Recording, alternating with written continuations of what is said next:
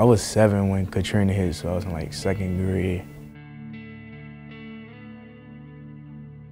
I kind of knew what was going on at the time, and it was like frustrating just like traveling around. We went to like Mississippi and like Texas, like Galveston and Houston, but like it was frustrating because, you know, y'all the water, you know, y'all bath in cold water, and then my family traveled as a whole, so like sometimes it'd be like 50 of us, and we was in Mississippi at a, another family member house, and you're sleeping on like a mattress, no lights. And then once you get back home, you know, my house still was up. Uh, I had a little damage like in the roof and the fence, but like just seeing like everybody else in the neighborhood and like close friends like never came back.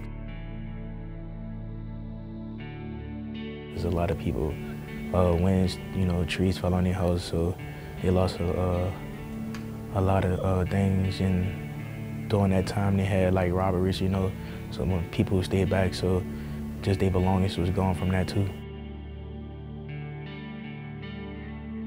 growing up in New Orleans, you know, it's hard anyway, so you kind of feed off of, you know, that type of things like that.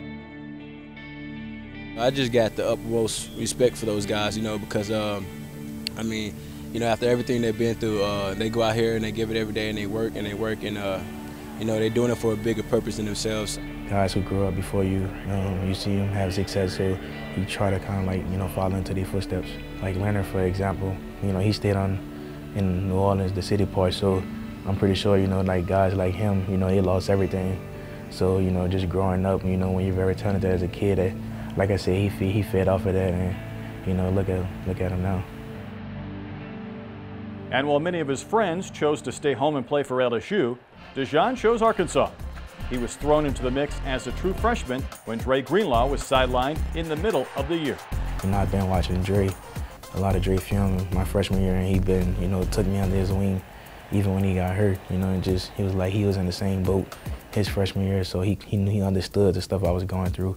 So, and just playing aside Dre helped me a lot. Playing next to Scoota, you know, it's, it's definitely, uh, it's definitely been great, you know, I mean, just, you know, having somebody like that next to you, but, uh, you know, more importantly, man, just the way that he works, the way that he go out and, you know, he grinds, and uh, you know, just to have somebody like that next to you to know that you know that guy's going to do his job. He's going to be where he's supposed to be, and he's going to make that tackle, man. You know, it just it makes you also want to go up there and play to that standard too. Scrimmage. Who else? De'Jon Harris. Three straight tackles. We see ourselves as a duo. Uh, we feel like we're the best duo in the, in the, in the conference, in the nation, really. We, we never settle for less. Uh, we always trying to be, you know, the best we could be always on top of each other and always trying to make guys behind us, you know, better. I don't think there's any question it's, it's the best productivity that I've been around.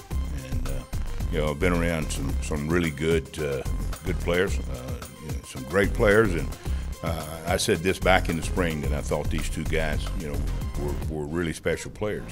Oh, here we go. Here we go. Coach Chavis, you know, he lays, he laid back. From him coaching me and Dre, like, we, you know, we're older guys, we understand uh, more than the younger guys, so you know he don't get on us.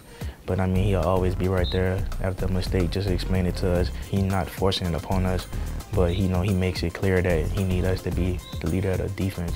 But Scoota will tell you, with Chief, there's more than just football. He's always asking us about, you know, how's life, you know, off the football field is going. Um, he asks us, you know, do we want to come to church with him on Sundays? You know, don't never be afraid, you know, to call him and ask him for things. Uh, he's really like a family man off the field. And De'Jon is thriving under Coach Chavis. The junior middle linebacker leads the league in tackles with 93. In the middle of the field, he's drilled at the 12. Wow, Scoota Harris knocked him on his backside.